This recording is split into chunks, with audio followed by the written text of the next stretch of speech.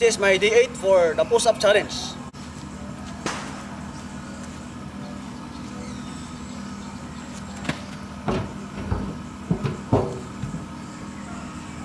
One, two, three, four, five, six, seven, eight, nine, ten, eleven, twelve, thirteen, fourteen, fifteen, sixteen, seventeen, eighteen, nineteen, twenty, twenty-one, twenty-two, twenty-three, twenty-four, twenty-five, plus one for my basic ROTC.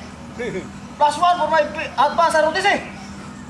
Plus one for basic officer training course. Class 9, that's 2001, Marikmat. Plus one for basic infantry officer basic course.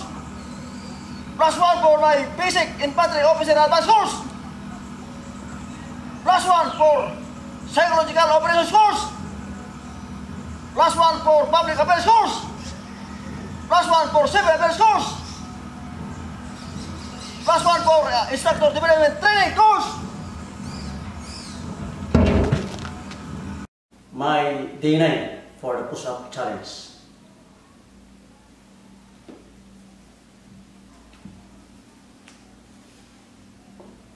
One, two, three, four, five, six, seven, eight, nine, ten, eleven, twelve, thirteen, fourteen, fifteen, sixteen, seventeen, eighteen, nineteen, twenty, twenty-one, twenty-two, twenty-three, twenty-four, 25 plus 1 for Taekwondo.